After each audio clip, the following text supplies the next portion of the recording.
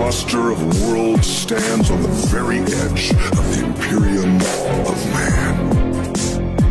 From this frontier came the Blood Ravens, a chapter of the Emperor's own Space Marines.